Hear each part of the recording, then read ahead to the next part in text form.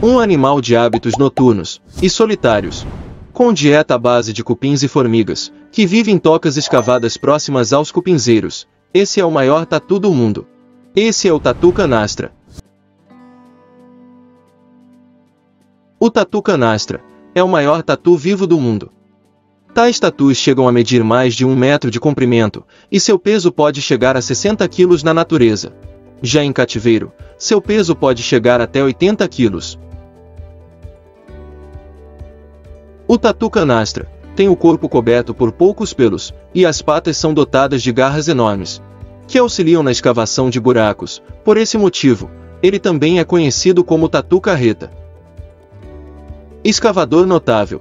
Faz grandes buracos para se alojar. Ao escavar o solo, consegue alimento entre insetos, larvas, vermes, aranhas e cobras.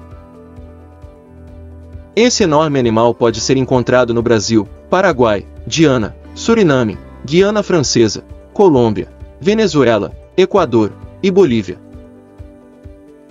Animal de hábitos noturnos, é encontrado em riachos e lagoas. Uma fêmea pode ter um filhote por parto, que ocorre com intervalo de 3 anos. É um mamífero desdentado. E estudos comprovam que são solitários. Apenas durante o cuidado parental da mãe com seu filhote, e durante períodos de acasalamento é que se pode obter registros de mais de um indivíduo juntos. Este animal vive muito mal em cativeiro, por isso, é difícil encontrá-lo em zoológicos. Ele faz parte das 207 espécies de animais que estão ameaçados de extinção, apesar de serem protegidos por lei.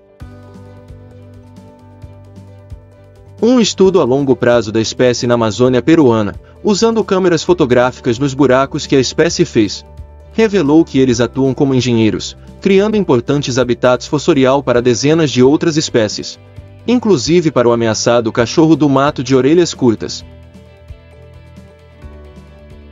Por causa da perda de habitats e da caça para consumo de sua carne e carapaça resistente, além do comércio ilegal e atropelamentos em rodovias, Hoje é raríssimo ver esses animais nas diversas regiões brasileiras onde ocorria seu avistamento.